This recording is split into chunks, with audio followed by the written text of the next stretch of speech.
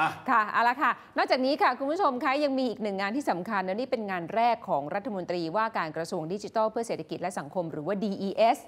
นะพี่โออมไปพูดปาฐกถาในงาน Digital Transformation for CEO รุ่นที่ 3 ของเราในการเปิดหลักสูตรด้วย ครับไปติดตามดูครับนะเชิญเลยค่ะ ที่ขับเคลื่อนเศรษฐกิจสร้างมูลค่าเพิ่มให้กับประเทศไทยนะเราประเมินกันว่าจะเพิ่มได้ถึง 2.3ถึง5ล้านบาท นะครับโดยเฉพาะที่เราดูเนี่ยภาคธุรกิจที่จะเข้ามาใช้ 5G รุ่นแรก ๆ แล้วจะได้ผลกระทบได้ได้ impact มากสุดคือการรักษาพยาบาลนะครับเพราะว่าการรักษาพยาบาลเนี่ยมันต้องต่อไปหมอกับคนไข้อาจจะไม่ต้องเจอกันใช่ไหมครับใช้การใช้ robot แต่ว่าใช้การ control ผ่านเครื่องมือแล้วก็ใช้เทคโนโลยี 5G เนี่ยนะครับเป็นตัวเชื่อมเพราะ speed หรือความเร็วของเทคโนโลยีเนี่ยทำให้หมอกับคนไข้สามารถใช้เครื่องมือเหล่านี้ติดต่อกันได้ ของโครงการนำร่อง นะครับ คือทางกระทรวงพลังงานเนี่ยจะมีมีกองทุน เรียกว่ากองทุนชื่อเต็มนะพัฒนาดิจิตอล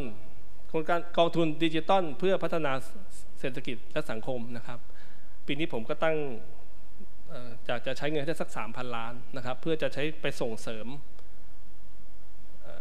นโยบายต่างๆ ของรัฐบาลในการทำโครงการ พัฒนาให้ประชาชนหรือองค์กรต่างๆได้นำเทคโนโลยีดิจิตอลไปใช้ให้เกิดประโยชน์นะครับ อย่างของ 5G เนี่ยเราก็ตั้งไว้หลายโครงการแล้วนะครับ ส่วนใหญ่ก็จะเป็นเรื่องที่นำไปใช้ประโยชน์ทั้งด้านสาธารณสุข ด้านอุตสาหกรรม การศึกษาคมนาคม รวมถึง smart city นะครับตอนนี้มีทั้งสิ้นที่ขอที่เราพิจารณาไปแล้วคือ 9 โครงการ ที่เราให้เงินอุดหนุนไปรวมวงเงินประมาณ 500 ล้านบาทนะครับที่จะกระจายควบคุมไปทั้งประเทศเป็น pilot project นะครับ ก็อยากเรียนว่ารัฐบาลเนี่ยคือเราพยายามส่งเสริมให้คนเอาเทคโนโลยี 5G ไปใช้แล้วเนี่ยเราก็ยังพยายามมีโครงการนำร่อง แล้วก็ให้เงินไปอุดหนุนด้วยเพื่อเพื่อให้โครงการนี้มันเกิดเป็นรูปธรรมและให้ประชาชนเนี่ยได้เห็นประโยชน์ของการใช้ 5G ก็แน่นอนว่านโยบาย 5G นี้ต้องมา ยังไงก็ต้องมา คือสิ่งที่รัฐมนตรีว่าการกระทรวง DES ค่ะประกาศนะค่ะบอกว่านโยบายแรกที่ต้องไปทำค่ะคือสนับสนุนให้ระบบ 5G มีการนำมาใช้ในประเทศไทยอืมและเดินหน้าต่อยอดจากสิ่งที่เคยทำมาก่อนหน้านี้ค่ะนั่นก็คือสนับสนุนในกิจการแรกธุรกิจแรกค่ะนั่นก็คือธุรกิจทางด้านการการแพทย์แพทย์การแพทย์ต้องอ่ามมาก่อนเลยอ่าอันนี้นะคะชุดหนึ่งใช่นะใช่ชุดต่อมารัฐมนตรีก็พูดเหมือนกันนะค่ะในแง่ของการสนับสนุนและการเดินหน้า ในเรื่องของข้อมูลส่วนบุคคลครับ เพราะปัจจุบันเนี้ย ท่านรัฐมนตรีว่าการกระทรวง DES คุณชัยวุฒิธนาคมานุสรณ์บอกชัดเลยครับ ว่าปัจจุบันมีการนำเอาข้อมูลส่วนบุคคลที่เราไปทำติดต่อกับบริษัทต่างๆเนี่ยและเอาข้อมูลเราเนี่ยไปใช้ประโยชน์ และมันเกิดการล่อลวงกันเกิดขึ้นอืมเพราะฉะนั้นจะเข้าไปจัดการเรื่องนี้ ค่ะอะลองไปฟังบางช่วงบางตอนกันเลยค่ะ กฎหมายดิจิตอลก็มีเยอะนะครับ ไม่รู้ในหลักสูตรจะพูดถึงหรือเปล่านะฮะ มีกฎหมายมาหลายหลายหลายฉบับนะกฎหมายธุรกรรมทางอิเล็กทรอนิกส์ ซึ่งจริงเราก็มีอำนาจในการกำกับดูแลแพลตฟอร์ม การทำธุรกรรมทางอิเล็กทรอนิกส์นะฮะแต่ว่าอาจจะยังบังคับใช้ไม่เต็มที่นี่ผมก็จะผลักดันเรื่องนี้ อย่างเช่น ไม่กี่วันนี้ก็มีออกข่าวว่ามีคนทำทำแอป พอโหลดเข้าไปแล้วไปกู้ยืมเงินกันเคยยินไหมครับ แล้วผมก็ไม่เข้าใจมันโกงกันยังไงถึงเป็นข่าวขึ้นมา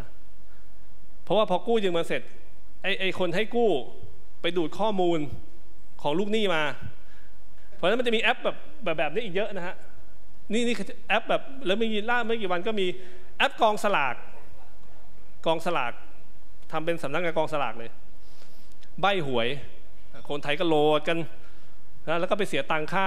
ค่าขอเลขเด็ดอะไรอย่างเงี้ยนะว่ากองสลากให้เลขนี่ยนี่ก็เพิ่งสั่งปิดไปนะครับแล้วธุรกรรมทางอิเล็กทรอนิกส์เนี่ยต่อไปจะเยอะมากนะครับ